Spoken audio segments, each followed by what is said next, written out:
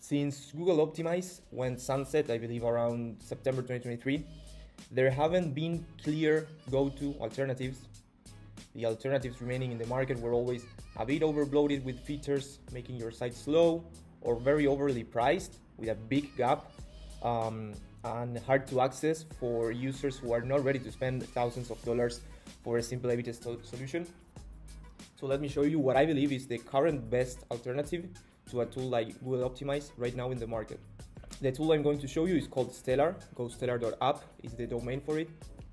Perhaps the three main reasons why it's a great alternative are that it's super easy to use, it's really really fast, and it has a free forever tier. Just how fast it is, well, it's up to 20 to 25 times faster than mainstream alternatives in the market. This is because it's very simplified. It's served on a CDN cache and it's super, super lightweight. Um, it doesn't have unnecessary features, so the script size to download is really, really small. Now let's dive in in a quick demo so you can see whether this tool suits your need or not. The tool is compatible with pretty much any website, Shopify, Webflow, WordPress, custom website. You can integrate it with Google Analytics, no problem. Let's see how we can create an experiment. Stellar supports two types of experiments, which are A-B experiment and split URL experiment. A split URL experiment is basically an experiment where you define an entry point, being a static URL, and um, this is more suitable maybe in scenarios where, where, you have big layout changes. So instead of making small changes with an editor, you're just providing um, a variant URL for your variations, right? And you can have as many as you want, but you will typically have your entry point URL and then variant B, variant C, all of which are gonna be different URLs to which the user is redirected to, depending on the traffic allocation you've set. It's very straightforward, so uh, we'll focus mainly on A-B types of experiments.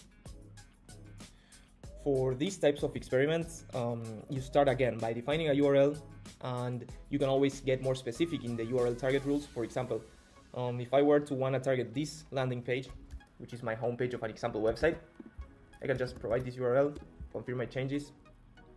But perhaps I have an e-commerce store and I want to target um, all of my product pages, in which case I could set a rule such as I want to target all pages where the URL contains the string forward slash products forward slash this would allow me to set up an experiment in all of my product pages. Let's go to our experiment now. We can define a target audience based on device rules. I could target mobile, desktop, tablet. I could tar target based on countries, exclude or include as many as I want. And um, I can also target based on visitor type, new versus returning visitors. Let's say I'm running a pay-per-click campaign and I want to exclude or include specific traffic stemming from this campaign, maybe it's a Google Ads campaign. I can do that, do that as well.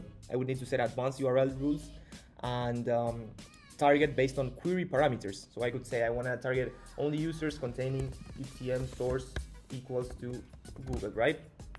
Or exclude them if I want to. Let's see how we can edit our variant. This is a very simple process. We can either use custom CSS or JavaScript or work with our visual editor. Um, we initiate a sort of interactive experience inside of your website once you install our snippet. This allows you to click around and make um, copy changes. You can use dynamic keyword insertion to work with geo variables. This would replace the city keyword with the actual user's city. You can make um, all sorts of AI um, assisted changes. I could, for instance, get um, H1 recommendations in this example. You can edit um, elements with AI as well. For, for instance, I might say, give this title a nice blue gradient color. So you definitely don't need to be tech savvy to work with this. You can move elements around. You can hide elements if you wish to. For now, let's confirm our changes.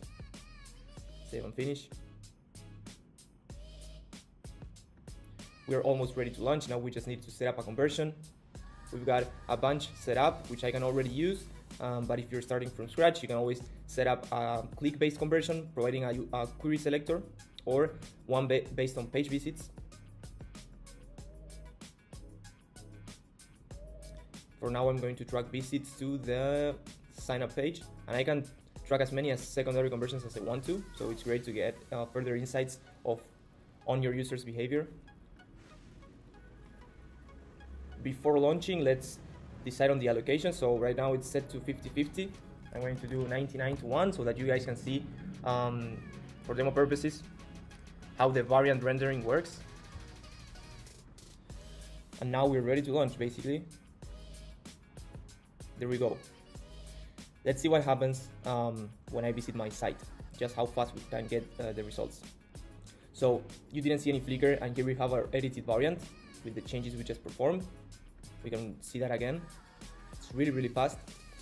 Um, yeah, so that's uh, pretty much it regarding experiment creation. Let me show you an experiment that has a bit more data so you can understand what sort of stats you'll have to make uh, decisions. So this is a current ongoing experiment I have on my homepage. And you will get an understanding on conversion rate. You can switch from unique to total conversions, switch among the different conversions you're tracking, get an, an insight on uh, the statistical significance of your experiment. This one is still in the early days.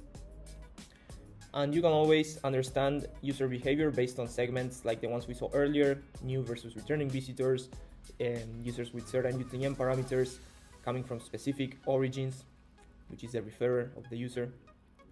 This is all you will need to make um, a guess on which is the performing the better performing variant. Of course, we kind of try to boil that down for you by showing you the, the one with the greatest uplift based on the main conversion being tracked. If you were to want really um, specifics, anal specific analytics that you might have on GA4, you can easily connect your um, account with GA4, no problem. So that's something we support as well. That's it for the tutorial, guys. Thank you for watching.